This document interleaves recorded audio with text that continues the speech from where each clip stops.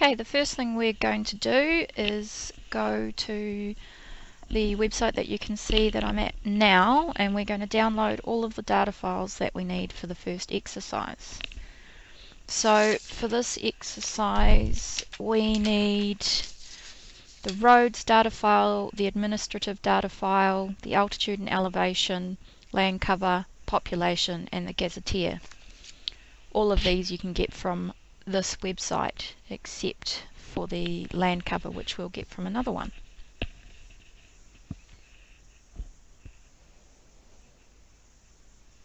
These all are downloaded as zip files so later on we'll need to unzip these files.